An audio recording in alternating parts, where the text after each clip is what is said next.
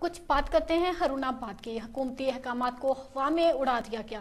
Transport service जारी। मुसाफिर बस 28 से जायद मुसाफरों को इस्लामाबाद से लेकर हरूनाबाद पहुँच गई।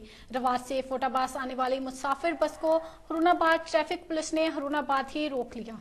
आपको बताएँ कि मुसाफिर बस में 28 अफराज सवार थे। बाकी मुसाफिरों को बहावन नगर उतारा गया है।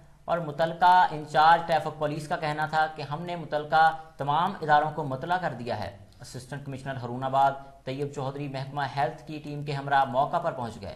मुसाफरों को कोरोना वायरस के हवाले से चेक भी किया जा रहा है। इस मौका पर असिस्टेंट कमिश्नर का कहना था कि मुसाफिर बस का इस्लामाबाद से हरूनाबाद पहुँचना कानून नाफज करने वाले इदारों की कारकर्दगी पर सवालिया निशान है।